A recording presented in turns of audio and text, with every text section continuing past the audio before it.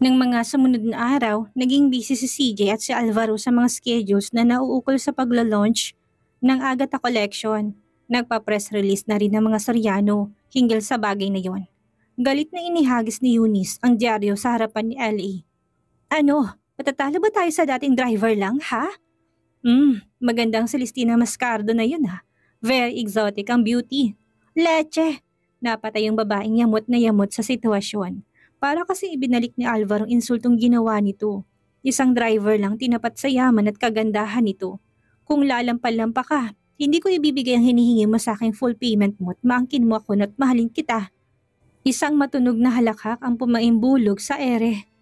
Shit! Bakit mo ko pinagtatawanan ha? Parang tigring sumugod si Eunice dito. What's taking the releases? Tell me. Calm down, honey. Nag-uumpisa palang uminit ang campaign ng Esper. Nagkakaganyan ka na? Sige ka. Baka magka-wrinkles ka sa kakasimangot. Matatalo ka talaga ng Celestina na yon. Kumilos ang isang kamay ni Eunice na mabilis namang nasalag nito. Don't you dare. Bayolenteng kinabig ni Eunice si Lord Alan, ngunit mabilis naman itong hinila papalapit ditong nagwawalang babae. Trust me, Pagkatapos, siniil nito ng halikang magandang modelo. Kumawala naman kagad ang babae at sa kadiretsyon tinitigan nito sa mga mata. I will, but show me. Ah, this time, if you want to win the game, you've got to show me first. Sanay sa laro ng buhay sa Lord Alan. Batid nitong sa ganitong paraan, it was like shooting two birds with one stone. Hawak na nito si Eunice. Nabalikan pa nito si Alvaro. Kung ipapangako mo sa akin ng limelight at paghanga ng madla, nangahali ng mga mata ni Eunice. I promise, paniniguro ng binata sabay nilak nitong pinto ng opisina. Ilang araw pa lamang ang nagdaan mula nang matapos magpa-press release at gumawa ng commercial si CJ. Ay sunod-sunod ng promotions at TV appearances na ang nilabasan niya. Kadalasan ay naroon si Alvaro kung hindi naman ay si Mila. Kinuha na kasi nito na makakatulong ina ng dalaga upang ang pinsan ng magsilbing chapero ni CJ sa tuwing hindi ito pwedeng sumama. Samantala, hindi nagpatalo ang Villaseñor and Associates. Nakipagsabayan sa ad campaign ng Saksay, ad agency na sang may hawak na account ng Agatha Collection, nagtatagisan ng galing at naguunahan sa mga marketing strategies sa mga to. Kahit inilantad ni Eunice sa press ang tungkol sa pagiging dating driver ni CJ, taliwas ang inaasahan ang naging resulta nito. Lalo pa siyang hinangaan at napamahal sa publiko. Nadagdagan ang galit sa dibdib ni Eunice Nanaw nahigit ang hangaring wasakin si Alvaro sa pamamagitan ni CJ. Lumabas ang malalakit magagandang billboards ni Eunice na natabunan naman ang ginawa ng sakay para kay CJ. Naisip na tuloy ni Eunice na mas magandang labanan kung pati sa personal na bagay ay tiriyahin na rin nito si CJ. Isang malaking refrigerator ang pinapasok sa bahay ni na CJ. Tuwang-tuwa naman si Aling Binay. Naku anak, kilaking swerte ito ah! Kaya nga patigilin na natin si Itay sa pagpapasada. Kumuha na lang tayo ng driver para hindi na siya mapagod. Tutal, kaya ko namang paaralin ng aking mga kapatid. Magbukas na lamang tayo ng gotohan sa harapan ng ating bahay. Total masarap kayo magluto noon at masarap din naman ang tokot baboy ni Itay. Magtulungan na lang kayo para hindi na lumalabas pa ng bahay si Itay. Sige, kukumbinsihin ko siya. Ate! Ate! Humihingal na pumasok si Botchok sa loob ng bahay. Nandyan ang delivery ng semento. Nagmamadaling lumabas si CJ upang impeksyonin at bayaran ng mga in-order sa hardware. Pinapagawa rin kasi niyang sira nilang bahay. Maya-maya tumunog ang cellphone niya. Si Alvaro. Habang nakatanaw si CJ sa mga binababa mula sa truck ay masuyo siyang nakikipag-usap si Binata. Oh, dito ka naman ng halian. Nagluto si inay ng kaldereta. I won't miss it for the world. Al, baka nakalimutan mo tomorrow night ng awards night. Okay na ba yung gown na pinatahi ko ng isang linggo? Kahit anong isuot mo, you're still the prettiest for me. I love you. I love you to my love. Bye! Ano pa bang mahihiling ng dalaga? Gumanda ang kanilang pamumuhay. Nagkaroon ng amang kasintahan sa katauhan ni Mang Arkanghel. Sumikat siya dahil sa pagiging signature model ng Agatha Collection at bonus pa natanggap na tanggap siya ng ina ni Alvaro. Sanay na sanay na sa bahay sina CJ, si Alvaro kakulitan nitong kanilang bunso kapatid at advisor naman ito ng dalawang teenagers pagdating sa kanilang mga love interest. Kukonsultant naman ito ni Aling Binay at syempre, chessmate to ni Mang Arkanghel. Madalas kapag gusto nitong kumain sa turo-turo o pumunta sa binlyaran. Kasama nilang matandang lalaki, lalo na tuloy naging close ang dalawa. May san mo namang Bicol Express ang tikman mo. Very good yan, anang matanda kay Alvaro. Naku, love, mas manghang yan kesa kaldereta niluto ni inay. Itay naman, hindi sanay si Alvaro sa masyadong manghang na pagkain. Sige lang, itatry ko lang naman eh. Kumuha ito ng kalahating kutsara at sinubo sa bibig. Nanginuyanan ito sa kana mula. Isang galon tubig yatang nainom nito. Napagalitan tuloy ni Aling Binay ang asawa. Para matikman lahat ng aking future son-in-law ang iba't ibang pagkaing Pilipino. Tama yun, sang-ayon naman ni Alvaro na mahimasmasan. Kung titignan ng pamilyang nasa hapagkainan, tila kasama na talaga si Alvaro sa miyembro ng mga maskardo. Napalapit na rin kasi ito sa pamilya ni CJ. Nakapagsalita tuloy sa aling binay. Ikaw ba Alvaro, hindi naasiwa na narito ka sa aming bahay. Kasama kami samantalang ordinaryo lang kaming mga tao. Matamis ang ngiti ni Alvaro. Alam niyo inay, kahit sabihin niyo pong pobre kayo, hindi ko kayo lahat ipagpapalit sa kahit na anong bagay o kahit na kanino. Kasi mahal ko na rin po kayo. Lalong nahulog ang loob ng pamilya sa tinura ng binata. Maswerte nga talaga si CJ sa lalaking pinili ng kanyang puso. Sinalubong si CJ ni Agatha, magiliw namang hinalikan sa noong matandang babae. Mabutit nakarating ka. Kailangan may kasama si Alvaro papuntang Batangas. Maga-groundbreaking na sa project nating Paradise Island. And both of you must be there dahil pet project ng anak ko yon. I'd rather stay in the background to advise my son. Love, lumabas ng veranda si Alvaro. Are you ready? Yes, I am. Tumayo na si CJ. Ma, hindi ka ba talaga sasama? Mas masaya kung kasama ka namin. No, iho. Maraming maiiwang trabaho dito. Alam mo namang mahirap kung sabay tayong mawawala. Go ahead and enjoy the realization of your dreams. Lumapit sa Alvaro sa ina upang yakapin ito ng mahigpit. Thank you, Mama, and I love you. I love you too. Hindi nga nagkamaling ibigin ni CJ si Alvaro. Kung mabuting anak ang isang tao, siguradong magiging mabuti ring asawa ito. Masayang lumakad ang magkasintahan at parehong excited dahil nostalgic ang dating ng Batangas sa kanila. Lalong-lalo ng Paradise Island. Sa lugar na yun niya sinagot si Alvaro sa bilis ng takbo ng kanilang buhay. Magandang balikan ang kahapon. After a long time, noon muling nagkita si CJ at Lawrence. Hindi may kakailang pag-iwas nito, lalo na kapag nakikita nitong nakakbay si Alvaro sa kanya. Maraming pagkain sa hapagkainan. Sa tuwing mag-uumpisa kasi ng proyekto ang mga Soriano, sinisiguro nilang laging may handa. Yun ay bilang pasasalamat sa mga taong ibinahagi ang kanilang talento para dito. Naging masayang groundbreaking ceremonies at nang matapos ang munting kasiyahan doon, umalis ng magkasintahan upang bumalik sa Maynila habang daan, tinutokso pa ni Alvaro dalaga. Kesyo, conscious na conscious daw siya kapag nahuli niyang panakaw na tinitingnan siya ni Lawrence. Nalihim daw siyang kinikilig dahil hanggang ngayon gusto pa siyang napamosang arkitekto. Nag-uumpisa ng pamulahan siya ng tenga nang tumigil ang binata. Ngunit bago pa man matuloy ang inis na nadarama niya, walang sabi-sabi siyang niyaya ni Alvaro sa labas ng sasakyan upang halikan. Just like the first time. Parang nabuhusan ng inis niya. Marahil ay ganun talagang umibig. May sulusan, may tuksuhan at paminsan-minsan ay may tampuhan. Ngunit kung ang lahat ng tampuhan ay magtatapos sa isang banayad na halik, she wouldn't mind at all. Bakit bang init ng ulo mo? Tanong ni L.A. habang inaayos ang pagkakatali ng korbata.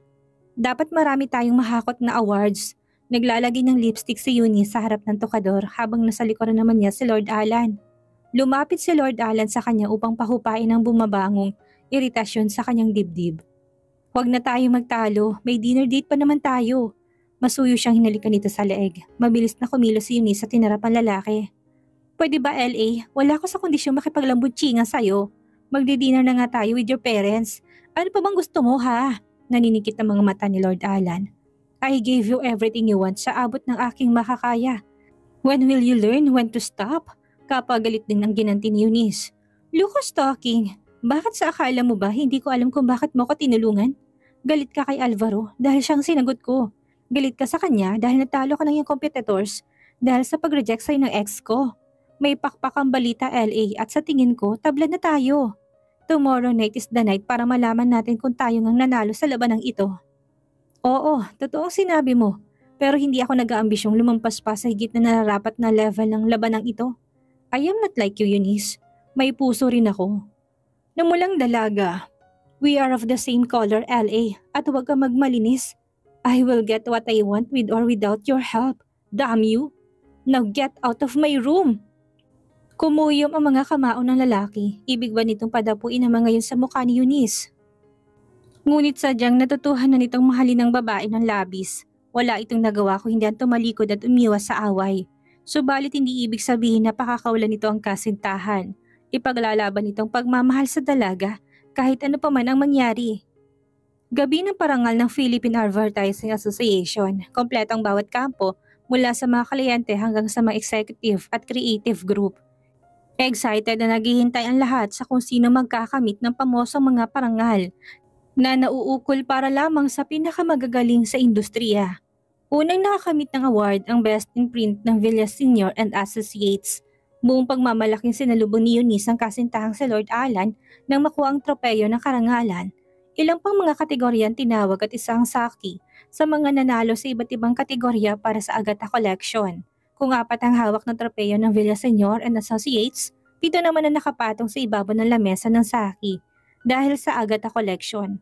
At dumating ang pinakihihintay ng lahat, babanggitin ng nanalo sa kategoryang Best TV slash Cinema Commercial of the Year Award. Tila hindi humihingang mga naruroon habang hinintay ang pag-aanunsyo na nagwagi. Kahit si Alvaro na patayon na tawagin ng Saki para sa 30 seconder na commercial ng Agatha Collection. At habang umakit ang mga involved sa production at creative staff, pinapakita naman sa malaking screen ng commercial ni CJ sa tabing dagat habang nagpapalakpakan lang lahat Mabilis na pinandar na yun isang utak sa susunod na hakbanging gagawin. Masayang inahatid ni Alvaro si CJ sa bahay nila. Sinalubong sila ng ninenervyos na si Mila. CJ, ang itay mo nasa ospital. Ha? Bakit? Hindi namin alam, basta na lamang nangitim at natumba. Umiiyak ito na ibinalita yon. Hindi na nagbihis pang dalaga, tuloy-tuloy na siyang lumabas muli ng bahay. Kasunod ang kasintahan, habang daan pa ni ang panalangin niya, hindi siya papayag na may mangyari sa kanyang ama. Hindi rin mapakali ang binata. Napamahal ng pamilya ng dalaga dito. Lalong-lalo na si mga arkanghel na madalas nitong kahuntahan sa tuwing hinihintay si CJ. Malulungkot ito kung may mangyayaring hindi maganda sa ama ng kasintahan. Ilang araw naglagay si CJ sa ospital upang alalayan ng kanyang ina.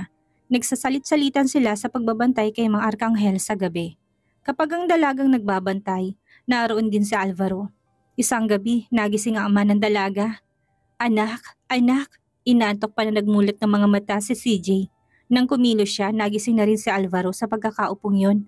Tumayo siya upang alamin kung bakit tinatawag siya ng ama. CJ, bakit hindi na muna kayo umuwi? Kailangan niyo ng pahinga ah. Tumayo si Alvaro at lumapit sa kama ng pasyente. Tatay, kamusta na akong pakaramdam niyo? Malungkot ang mga mata ng matanda. Pasensya na kayo sa akin, amang. Masyado kayong istorbo ng dahil sa akin. Hinawakan ng dalagang kamay ng ama. Hindi po istorbo ito. Gusto naming lahat na kayo ay pagsilbihan dahil mahal na mahal namin kayo. Nilipat ni Mang Arkanghel ang paningin sa anak. Nahihiya ako sa iyo anak. Nung una, hindi kita na mapagtapos ng pag-aaral. Ngayon naman, ikaw pang gumagastos sa akin. Itay tulad ng sabi ni CJ, gusto namin to. Huwag kayong mag-alala dahil hindi naman kami nahihirapan, sagot ni Alvaro. Huwag niyong iniintindi ang gastos dahil tutulungan ko po siya. Bumakas ang pagkabahala sa mukha ng matandang lalaki. Bakit kailangan pa ako operahan? Para pumaagapan ng inyong sakit itay, sagot ni CJ. Kahit na, pakaramdam ko'y wala na yata akong silbing ama sa inyo. Nangingilid ang luha sa mga mata ni mga anghel. Itay naman, huwag nga kayo magsalita ng ganyan. Tumulo na rin ang luha ng dalaga. Hinawakan ni Alvaro sa brasong matandang lalaki. Itay, alam nyo, kahit sa maikling panahon, tinuring ko na kayong papa ko. Maaga po kasi ako naulila sa kanya. Kung may mangyari sa inyo, malulungkot din po ako. At saka gusto namin ni CJ na magaling na magaling na kayo kapag ikinasal kami. Tumango ang dalaga habang pinupunasan ng kanyang palad ang kanyang mga mata. Sige, pero babawi ako sa inyo para naman mapanatag ang loob nyo. Ako ang kakanta sa kasal nyo. Magkahalong luha at saya ang naging reaksyon ng dalaga sa sinabi ng ama. Itay naman, alam naman yung muntik na tayong idemanda ng kapitbahay nung huli kayo nagtangkang kumanta eh. Ngumiti si Mang Arkanghel. Nagbibiro lang ako. Nahiyaman ng dalaga tinanggap na rin yung inaalok na tulong ng kasintahan. Nakakuha sila ng malaking diskwento sa silid ng ama dahil ninong nito ang direktor ng ospital. Bukod doon, hindi nagpapabayad ng doctor's fee ang pinakamagaling na heart surgeon sa ospital lang iyon dahil pinsan ito ng ama ni Alvaro. Si Alvaro rin ang naglabas ng down payment. Ayaw nitong mabawasan ang naipon ni CJ dahil laan naman yun sa pagpapagawa ng bahay at karinderya, pati na rin ang pangmatrikulan niya at mga kapatid. Ilang saglit lang at panatag na namang natutulog si Mang Arkanghel. Nakatulog na rin si CJ habang nakahilig sa dibdib ng binata. Shit! Nalulumong upo sa toilet bowl si Eunice matapos makitang resulta ng pregnancy test na personal niyang isinagawa. Two weeks pregnant? Anong gagawin ko? Hindi dapat malaman ni LA ito. Ayokong pakasal sa kanya, sabi ng isipan niya. Ikaw ang may kasalanan nito Alvaro. Kung hindi dahil sa'yo, hindi ako mapapasubo sa ganitong sitwasyon. Tumayo siya, itinapon sa waste can ang resulta at lumabas ng banyo. Mabilis na pinindot ang numero ng telepono ng mga Soriano at hinintay ang kusina mang sasagot. Hindi sumalang kanyang hinalang nasa kusina pat gising na gising pa si Melly. Hiningi niya ang tulong ng maid at hindi naman ito nagdalawang isip. Tiniti ako sa'yo, pabulong na sabi ni Melly sa kabilang linya. Hindi papaltos ang plano mo, mabuti nga sa kanya. Talagang ikaw ang nararapat para kay Senyorito Alvaro. Kaya nga huwag ka na magaksay ng panahon. Hihintayin kong tawag mo ha, sabi ni Eunice na pinalambing ng tinig. Alam ko namang ikaw lang ang makakatulong sa akin eh. Thank you. O sige, baka magising pa si Senyora Agatha. Magtawagan na lang tayo. Bye. Bye. Ani Eunice, tumaas ang isang sulok ng labi niya. Ito nang hinihintay niyang panahon upang agawin ang dating kasintahan. Kahit ano pang namagitan sa kanila, hindi pa rin niya may tatwang. Kahit ilang ulit pang inangkin ni Alay ang katawan niya, si Alvaro pa rin ang good catch between the two. At kung hindi niya ito mapapakinabangan, Wawasakin niyang binata, pati na rin ang babaeng naging kaagaw niya sa lahat ng bagay. Wala pang tatalo kay Eunice sa Lustria. Ever. Nagbilin si Alvaro kay Melly na hindi siya makakauwi over the weekend dahil sa sariling condo unit siya tutuloy. Doon siya magpapalipas ng gabi pagkagaling sa opisina. Kinabukasan, balak niyang dumaan sa ospital na malapit sa tinitirhan. Pinasasabi rin niyang ipinapaalala sa inang hindi siya makakapasok sa umaga Dali-daling tinawagan ni Melly si Eunice na kagad namang hinanap ang kopya ng susi nito sa condo unit ni Alvaro na hindi pa nito naisasauli. Kung ano-anong dahilan ang hinabi ni Eunice upang hindi na magtanong pa sa LA, hindi nito napansin na hindi nakumbinsi si Lord Alan sa mga excuses nito. Hindi nagaksaya ng panahon si Eunice, dali-daling pinandar nito ang sasakyan patungo sa condo unit ni Alvaro. Sa tindi ng pagod, tinabi ni Alvaro ang cellphone niyang nalobat na sa side table at hindi man lang niya binuksan ng ilaw ng silid. Nakainom din siya sa cocktail na binigay ng travel agency. Nakatie up nila sa Paradise Island kaya inaantok na humiga siya sa kama. Wala siyang kamalay-malay na hindi siya nag-iisa sa silid na yon. Dahil tuluyan na siyang nakatulog. Nakangiting nakamasid lamang si Eunice sa isang sulok ng silid. Suot ang manipis at skimpy black nighties. Hindi makatulog si CJ dahil maagang schedule ng operasyon ng kanyang ama. Hindi kasi siya mapalagay dahil sa kung ano ang kanyang naiisip. Nasani naroon si Alvaro upang bigyan siya ng moral support. Marahil nakawin ng nobyo galing sa cocktail party din naluhan nito. Tinawagan niya ito sa cellphone ngunit hindi niya ito makontak. Sinubukan niya tawagan ng bahay sa pag-asang sasagutin ni Melin telepono. Ngunit walang sumasagot. Susubukan niyang alamin kung sa kondo tumuloy si Alvaro. Nagitla siya ng babaeng sumagot sa kabilang linya. Mabilis na pinindot si CJ ang sipi at nagdial ulit. Babae pa rin na sumagot at tila pamilyar ang boses. Nangangahulugan na hindi siya na wrong number. Gumapang ang galit sa buong katawan niya. Hindi niya sukat akalaing magagawa ng kasintahan ng magtaksil sa kanya. Ngayon pa namang kritikal ang kondisyon ng kanyang ama. Nang mga sandaling iyon, tuloy-tuloy siyang lumbas ng silid ng ama upang bumaba sa parking lot kung saan iniwan niyang kanilang taxi. Habang daan, nanginginig ang buong katawan niya. Kailangan malaman niya kung sinong babaeng kasama ng kasintahan. Kabababa lang ni Eunice ng telepono sa sala. Tingnan mo nga naman ang buhay. Ang pagkakataon na nagbigay na mas magandang sitwasyon sa kanya. Sa halip na patawagan ng kaibigang si Yula upang magsumbong kay CJ na may babae ito. Si CJ na mismo tumawag. Mas mailinis na lumabas ng kanyang plano. Ngayon, kanya ang huling halakhak ng tagumpay. Bago siya pumasok sa silid ni Alvaro si Eunice, Iniwan niyang hindi nakalapat ang pinto ng condo unit upang malayo makapasok si CJ. Dahan-dahan siyang tumabi sa binata. Ginulong sarili at inayos ang itsura ng walang kamalay-malay sa Alvaro upang magbigay ng impresyong may nangyari na sa kanila. Hindi nagtagal, may bumukas ng pinto sa sala. Mabilis na niyakap ni Eunice si Alvaro na nooy tumagilid pang paharap sa kanya. Magandang pagkakataon iyon. Niyakap ito ni Eunice at nilagay ang isang kamay niya sa dibdib ng dating kasintahan. Mga walang hiya! Malakas ang tinig ni CJ. Nagulantang si Alvaro. Ngunit hirap na hirap na ibukang mga mata dahil sa kalasingan. Go back to sleep, sweetie, sabi ni Eunice. I will take care of everything. Bumalik sa pagtulog si Alvaro. Bakit ka nagagalit? Kinuha ko lang mapabalik ang dapat na sa akin, hindi ba? Nagtapang-tapangan si CJ kahit sa pakaramdam nito'y binagsakan ito ng langit at lupa. Go to hell! Sabay talikod ng dalaga upang palayain ang mga luhang kanina pa ibig pumatak. Naiwang tuwang-tuwa si Eunice. Hindi pumaltos ang plano niya. Nagpapasalamat siya sa kooperasyon ni Melly na talaga namang loyal sa kanya. Magugulantang si Alvaro kapag nakita nito ang dating kasintahan ng katabi. After two weeks, sasabihin niya si Binatang nagbunga ang nangyari sa kanila at pipikutin ito para mapakasalan siya. Didespatchahin niya si Lord Alan na walang kamalay-malay na itong ama ng pinagbubuntis. Siya pa rin ang nagwagi. Litong-lito si Alvaro nang magising ito at nakitang katabi si Eunice sa higaan. Niyugyug ito ng binata hanggang sa magising. Anong ginagawa mo rito? Kahit inaantok na sa isip na ng babae sasagot sa kanya. Pinuntahan kita rito para makipagbalikan sa'yo. Ginamit kong spare key na hindi ko na isauli sa'yo na mag-away tayo. You just grabbed me and before I knew it, you were all over me like you used to. Niyakap siya nito. I still love you, Alvaro. Tumayo siya pilit na pinagbibihis ang babae. Nagmamadaling tinignan ng alarm clock at naalalang alas 9 operasyon ni Mang Arkanghel. Kailangan siya ng kasintahan sa ospital. Kampanting nagbihis sa Eunice. Batid nito kung anong sasalubong kay Alvaro. I'll call you. Aniya, bago lumabas ng silid ng binata. Dali-daling pumasok sa banyo si Alvaro upang gisingin ang sarili. May oras pa siya upang abutan ng ama ng kasintahan bago ipasok sa operating room. Hawak-hawak sa magkabilang kamay na mag-ina si Mang Arkanghel habang tinutulak ng mga hospital attendants ang kamang digulong upang dalhin sa operating room ang matanda. Hindi nagpahalata si Ina, si CJ nang dumating sa Alvaro upang silipin ang kalagayan ng kanyang ama.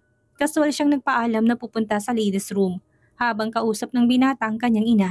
Wala siyang kaplano-planong kausapin ito. Sa halip na tumuloy sa kinaroroonan ng kasintahan, tumuloy siya sa sumunod na floor upang magpalipas oras sa lounging area doon. Sasabihin na lamang niya sa ina na sumakit ang kanyang tiyan, kaya bumili siya ng gamot sa labas dahil naubusan ng pharmacy ng ospital ng gamot na kailangan niya. Sa pag-aalala ni Aling Binay sa kalagayan ng asawa, hindi nito may isip pa na iniiwasan niyang nobyo Nakatawid na sa panganib si Mang Arkanghel, nakahinga ng maluwag si CJ. Ngayon, magagawa niya ng isipin kung anong susunod niyang hakbang. Sigurado na siya sa kanyang desisyon. Kahit nagaano pa niya kamahal si Alvaro, hindi niya kayang tanggapin na may kahati siya sa pagmamahal nito. Lalayo siya. Total, tapos ng kontrata niya sa Agatha Collection, kahit patuloy pa rin ang earring ng kanyang commercial. Siguro naman sa kasikatang natamo, may iba pa rin kukuha sa kanya, handa na rin niyang tapusin ang kanyang thesis sa susunod na semester upang makagraduate na.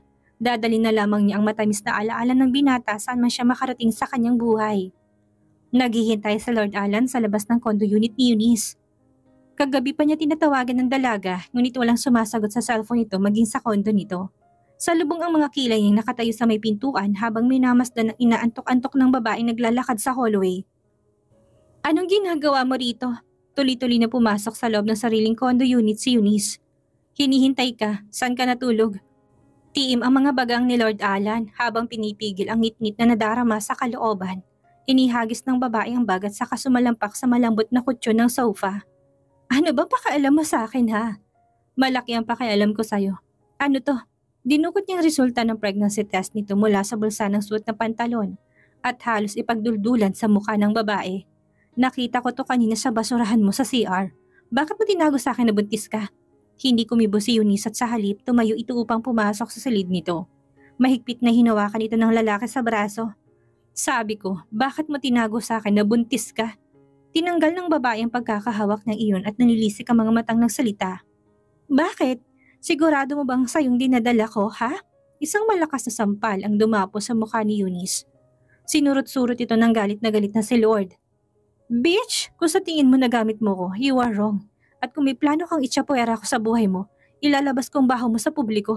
Remember, Between you and me, ikaw ang sikat at pinapanood ng mga tao. Hindi ako. I have nothing to lose, babe. Dahil lalaki ako.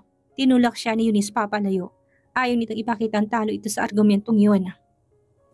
Totoong kapag nakarating kay Alvaro ang tungkol sa nangyari dito at sa binata, kahit ano pang sabihin nito dito, hindi ito mapuparsang panagutan ng pinagbubuntis nito.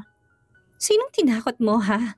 May nginig sa tinig nito na kahit ano pang pagpipigil nito sa sarili. Wake up, Eunice. Kahit ganito ako, alam mong mahal kita at kailangan mo ko at this point in time. Bakit hindi mo buksan ang puso mo para kahit papaano ay ma-appreciate mo naman ako? Get lost, LA. Hindi, hindi ngayon alam kung kalagayan mo. Dahil kahit na anong sabihin mo, I know and I feel. Akin ang batang yan. Hinawakan ni Lord Alan ang mukha niya at sa kabanayad na hinalikan to sa labi. I love you so much. Hindi na malay ni Eunice na tumutulo na palang mga luha nito. Tila nagising na ito sa mahabang pagkakatulog. Bakit nga ba niya pinairal ang pride? Labi siyang naging abala sa paghihiganti. At bakit halos pagduldulan na niyang sarili sa isang lalaking wala na mapagmamahal dito? Samantalang naroon naman sa harapan nitong bukod tanging, nilalang na masasabi nitong throw thick and thin ay nasa tabi nito maging tama man o mali. Noon lamang nito na-realize na mahal na rin pala nito si Lord Alan. Pagod na umuwi sa bahay si CJ matapos hintayin maisagawang operasyon ng kanyang ama. Makalipas ang isang oras, tumawag siya sa ospital upang kamustahin ang kalagayan nito. Buong maghapon siya sa loob ng kanyang silid upang doon ibuhos ang sama ng loob. Nagring ang telepono ngunit hindi niya malang siya dinampot yon Isang katok sa pintong sumunod, sinabi ni Carol na hinahanap siya ng isang babaeng taga-agency raw at importanteng sasabihin sa kanya. Dinampot niya mula sa katangan ang telepono. Please, huwag mong ibababa ang telepono, hindi ako taga-ahensya. Tumawag ako para humingi ng paumanhin, sabi ng tinig sa kabilang linya.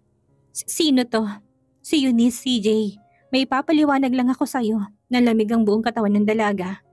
Bakit? Kulang pa bang ginawa mo? I'm sorry, pero ngayon ko lang na-realize na mali ang nagawa ko.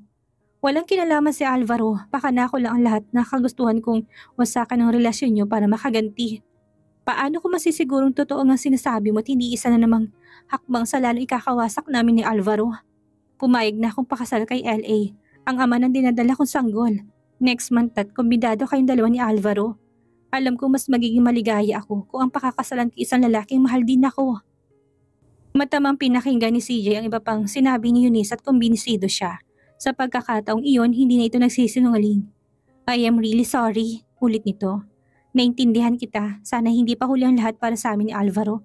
Tumawag ako kina Alvaro. Nalaman ko kay Melo na nasa Batangas siya. That was an hour ago. So kung gusto mo siyang makita, bakit hindi mo siya sundan doon? Salamat. At nagmamadaling binaba niyang telepono, kinuha niya susi ng kanilang taxi at saka pinasibad iyon. Hahanapin niya si Alvaro kahit sa panglupa-loob. Pagdating ni CJ sa mansyon, nalaman din nga niya kay Melly na umalis si Alvaro. Mabilis siyang nag-isip at saka may sumagi sa kanyang isipan. Pakisabi kay Alvaro, pagbalik niya na babalik ako dito, bili niya sa katiwala. Matuloy niyang pinaandar ang kanyang sasakyan. Ilang sandali pa'y nasa isang pamilyar na lugar na siya. Mula sa malayo, nakita niyang naroroon ang sasakyan ni Alvaro. Nag-iisang nakatayo ito sa labas ng kotse at nakatingin sa kawalan. Sunod-sunod na busina ang ginawa niya upang matawag ang atensyon ng binata. Paglingon nito, sinungaw niya ang kanyang ulo upang sa niya santo sumakay sa kanyang taxi. Tila may pakpak ang mga paang nilipad ni Alvaro ang kanyang kinaroroonan. Umibi siya ng sasakyan at sinalubong ang tumatakbong binata. At pagkikita nilang yun ay nagsilbing gamot na nagbigay ng lunas sa sakit na nadama ng kanilang mga puso matapos ang unos sa kanilang relasyon. Tinawagan ako ni Eunice at pinaliwanag niyang tunay na nangyari. Huwag kang mag-alala, hindi na ako galit. Kumbidado rin tayo sa next month sa kasal nila ni LA. Sumama ang loob ko dahil nawalan tiwala mo sa akin. Hindi mo pa ba alam na hindi kita kayang ipagpalit kahit na kaninong babae? I'm sorry Alvaro. Pinigilan nitong ano pa mang nais lumabas sa bibig ng lady driver nito. Tinakpan nitong mga daliri ang kanyang bibig upang huwag nang magnulas pa ang kahit na anong salita. Don't be. Ngayon alam kong mahal na mahal mo ko dahil nandito ka sa lugar kung saan kita unang hinalikan. At hindi mo ko tinanggihan. Ngayon, wag na wag mo kong tatanggihan if I ask you to marry me. Bakit? Akala mo ba hindi ako papayag? Alvaro, hindi ako lakulakang pakakawalan ng isang lalaking katulad mo. You may be too good to be true, but you are also the man I fell in love with. Naghina ang kanilang mga labi upang lakipan ang kanilang pangakong hindi-hindi na sila magkakahiwalay pang muli. Para kay Alvaro, kahit kailan, kahit kanino, ipagmamalaki nitong mahal nito ang dating driver. Nagpakasal sila sa Paradise Island nila dinaos ang kanilang honeymoon. Nagkakagulo ang magbabalae kung sino ang magbubuhat kay Alvaro Juan Soriano IV. Ang puti-puti ng apo ko. Anim ang arkanghel. Buti na lang hindi nakuha ang kulay siyamporado mong balat. Tudyo naman ni Aling Binay. Umiyak ang sanggol kaya nakiagaw na rin si Agatha. Ke paso, come to abuela iho. Sino raw ang napaso? Bulong ng matandang lalaki kay Alvaro. Wala akong napaso, tay. Ang ibig sabihin nun, anong nangyari sa'yo? Ah, ipagyayabang ko sa mga kalaro ko na may pamangkin ako Merkano. Ani Botchok. Ang dalawang teenagers naman na sina Carol at Mila ay panay ang pangarap na magkaroon din sila ng ganong kasing gandang kapalaran. Balae, ako naman, reklamo ni Aling Binay. Oops, inay, ako naman ang bubuhat sa aking anak, si CJ. Carol, dali, kunan mo na litrato si na mamang mo, oh. Umupo sa hospital bed sa Alvaro at inakbayan si CJ. Nahawak naman ng kanilang panganay. Bago kumislap ang flash bulb, mabilis na hinawakan itong mukha niya at biglang hinalikan. Ay, ang sweet! Masayang masaya si CJ dahil lahat ng kanyang pinangarap ay kanyang nakamit. Pati na rin ang matawag na Celestina Mercado Soriano. Social na? Astig pa! Dito na po nagtatapos ang kwentong pag-ibig ni Alvaro at CJ. Maraming salamat po sa lahat ng sumuporta at sumubaybay. Muli magkita-kita po tayo sa susunod pa nating mga istorya.